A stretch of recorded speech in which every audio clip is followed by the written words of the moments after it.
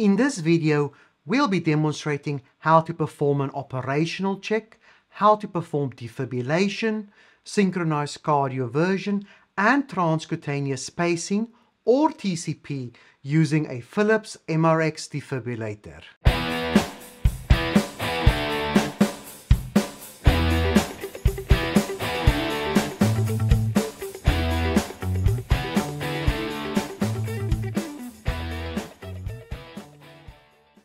As part of your checks on the Philips MRX device, always make sure that the hourly glass is flashing. If you see there's a red cross in this area, make sure the device is connected to power and ensure that the therapy cable is connected.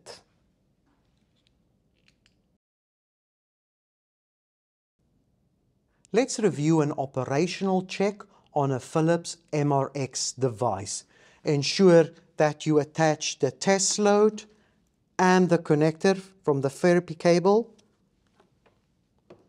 Switch the device into monitor mode.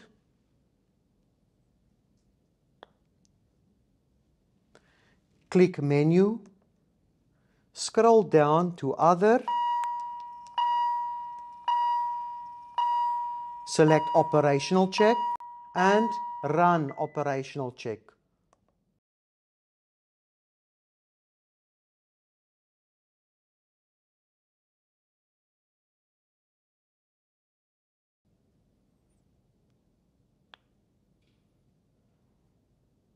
It tells me turn therapy knob to 150 joules.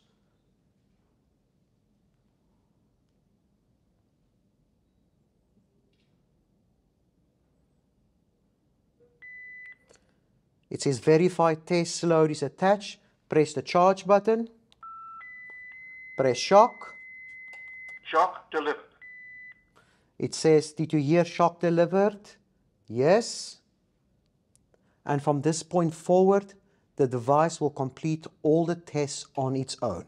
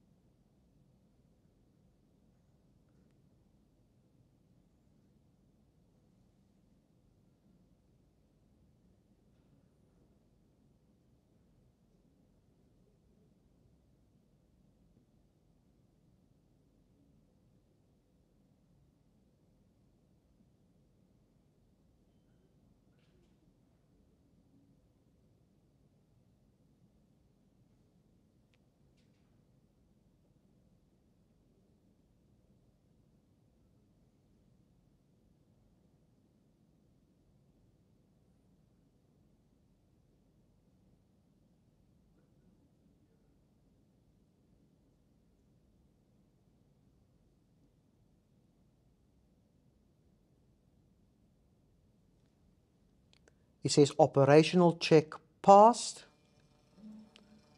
and it will print a short report and you can click exit operational check. The device will restart back into operational mode. Once restarted, switch the device off and the device is ready for use.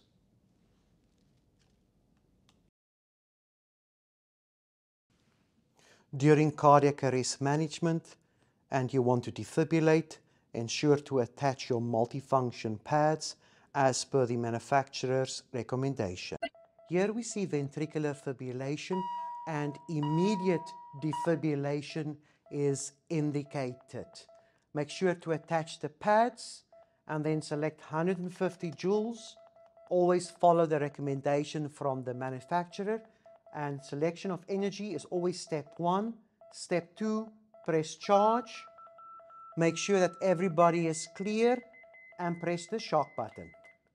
Once shock has been delivered, immediately start high quality chest compressions. Here we see ventricular tachycardia with a pulse. The patient is having serious signs and symptoms, decreased level of consciousness, chest pain, shortness of breath, and the patient is hypotensive. Immediate synchronized cardioversion is indicated. Consider pain relief and sedation. Then select 100 joules. Again, we follow the recommendation from the manufacturer. We'll press the sync button. We'll press charge. This time we will press and hold the shock button until the shock has been delivered. Once the shock has been delivered, immediately review the ECG and repeat vital signs. Your second synchronized cardioversion will be at 150 joules and your third at 200 joules. For rhythms like SVT or atrial flutter, we could consider using 50 joules.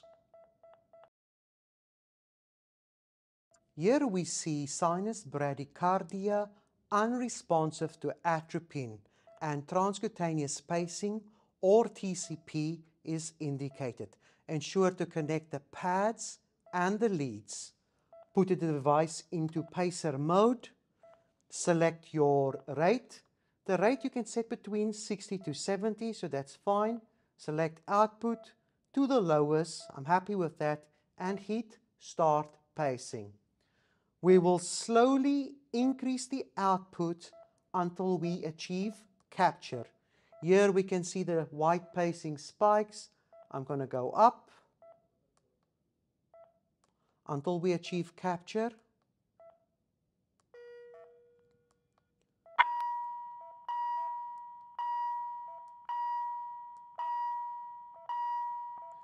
Here we see a pacing spike immediately followed by a white QRS. I'll go up one. I will check my patient's pulse and repeat the vital signs.